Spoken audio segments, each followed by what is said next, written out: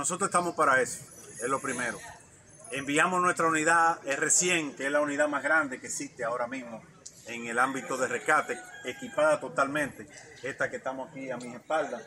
Los muchachos llegaron inmediatamente, se unieron al esfuerzo del Ministerio de Obras Públicas y en combinación, sin utilizar ni una herramienta, pudimos liberar a la persona. Eso para que las personas vean que el bombero, con todo y todo, buscamos la forma que sea más segura y menos traumática para liberar a una persona. Se utilizaron las ideas, las cabezas y se comenzó a mover y a tejer en base a ese rescate eh, un procedimiento y un protocolo, el cual cumplimos y el cual dio como resultado la liberación inmediata de la persona y la entrega a las unidades de salud del 911.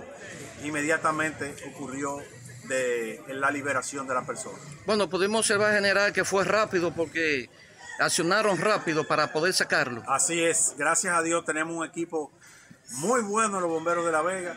Tenemos los equipos suficientes, aunque en este caso se utilizó el equipo mejor dotado que tenemos, que es el cerebro. Por eso nosotros hemos siempre insistido en que nuestro cuerpo de bomberos, además de tener los equipos, los camiones y todo, tenemos muchachos, jóvenes, mujeres bien preparadas, con buenas ideas, con buen protocolo, con buena educación y sobre todo con disciplina.